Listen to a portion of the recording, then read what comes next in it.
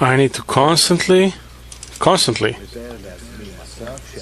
imagine myself a state where I'm in direct connection with the Creator who's before me.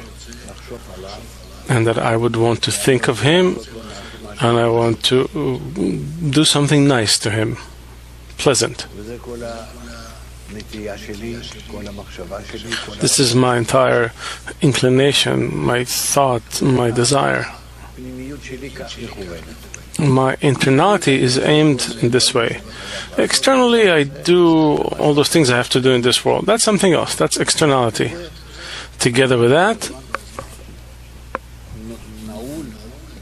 I'm constantly locked on the Creator. Again, that same example is a mother who's at work somewhere, but her head is constantly, her heart are constantly with the baby that she left back home. What's up with him? Similarly, we have to imagine ourselves. And of course, when we try to lock ourselves in this way, then various uh, disturbances will come and we'll need to work against them.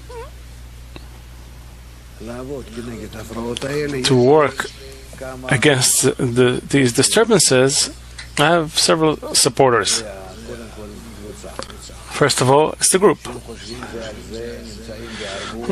And if we think of one another, we are, if you are in arvut, if we are in a covenant, if we're in support of one another, as we remember, a person does not release himself from prison, he can do it, only the friends. So if I'm connected to them and everyone is connected to everyone, then surely we succeed.